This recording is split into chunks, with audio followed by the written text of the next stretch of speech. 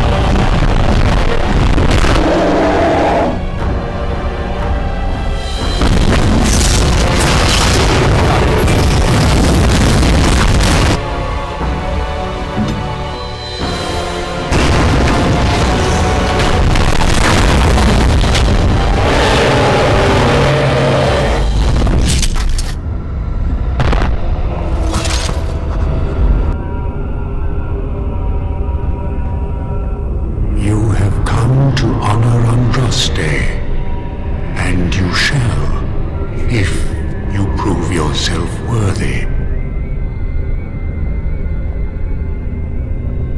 Still, you must prove yourself worthy. It is not my place to decide your worthiness.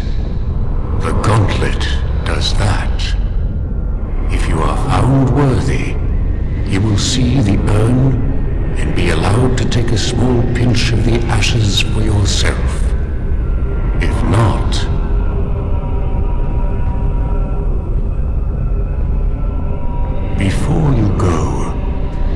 Something I must ask.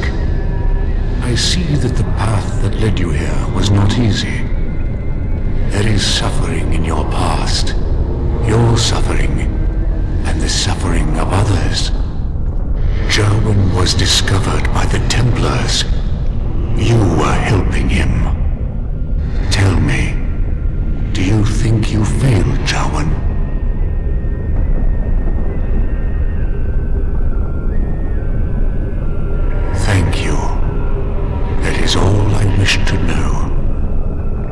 Too hard on yourself. No one's perfect.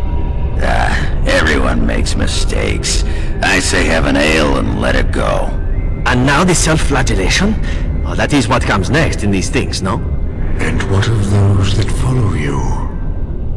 Alistair, Knight, and Warden. You wonder if things would have been different if you were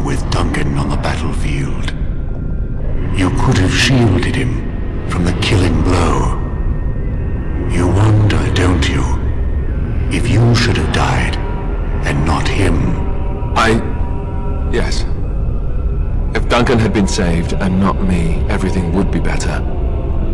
If I just had the chance, maybe I... Ah, the dwarf. You left your home and came to the surface, knowing that... Why don't I save you some time? Yes, I wish I could have saved my family from Branka. I wish I'd been a better mate.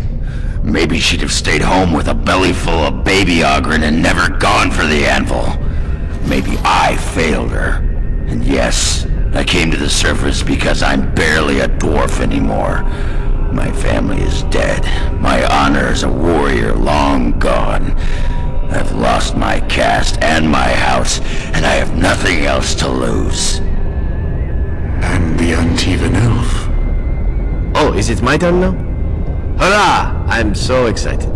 Many have died at your hand.